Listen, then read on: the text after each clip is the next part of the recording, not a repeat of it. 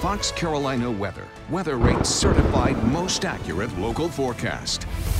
And if you are camping this weekend, good news. You don't need the weather radio. You don't need to keep an eye to the sky because once we get rid of this activity this evening, we're in the clear. We're really good for the holiday weekend. Showers and storms ending as we go through the next couple of hours. And the bigger story, too, is it's going to be cooler for the holiday weekend. And right now, Memorial Day is looking warm and dry. So for the remembrances and the services, uh, we are in good shape there. High temperatures today. Look at this. Not a 90 degree reading out there for the first time in a long time. 88 in Toccoa, 89 in Anderson. We had 88 in Greenwood and Newberry, and 88 into Greenville as well.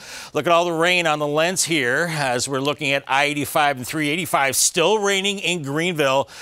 Maybe some claps of thunder, uh, but the main activity is moving to the east. Here's the best news of all. Over a third of an inch up at GSP with uh, 8400s in Clemson so far, 4200s in Asheville, and 4400s in Anderson. So we certainly needed the rain, and it was good to see that. Out ahead of the rain is mild, 74 in Laurens and Union, 74 in Abbeville. But where it's been raining, it's cooler, 68 in Greenville. And right now, Asheville, you're at 63. Of course, the Memorial Day holiday weekend weekend is here. We're looking at some clouds on Saturday, 83 degrees. So looking good there. Even better if you like cooler weather on Sunday, looking at 76. And for Memorial Day itself, upper 70s in the mountains and lower 80s into the upstate. Once again, the weather will cooperate for any kind of remembrances there. If you're headed to the lake, 70s in the mountains and lower 80s for the upstate. Light wind. So if you're out on a boat, we're in good shape. Not so right now. We're looking at this area of rain and storms moving through with the cold front. We'll start to the north. Asheville looks like you're starting to end the rain for you while we're seeing showers around Forest City,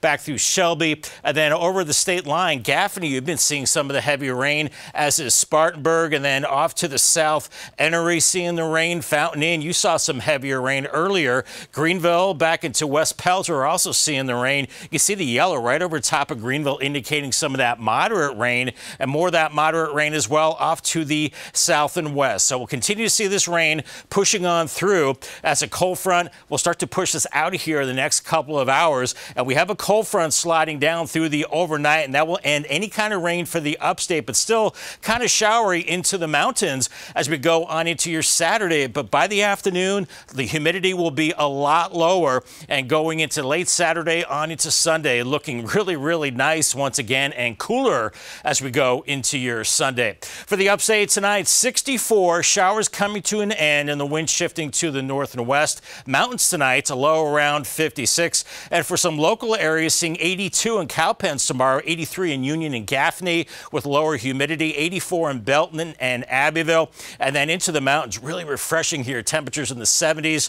Brevard at 77, maybe a few showers. Carolina Sky Meter for tomorrow. We're in good shape. Not a perfect 10. I did give it a 9 because we will see some some uh, breezy conditions at times. And then Saturday, 83, 76 on Sunday, your seven day forecast. Memorial Day, 82. Increasing showers Wednesday, especially Thursday and Friday. And for the mountains, 74 for you.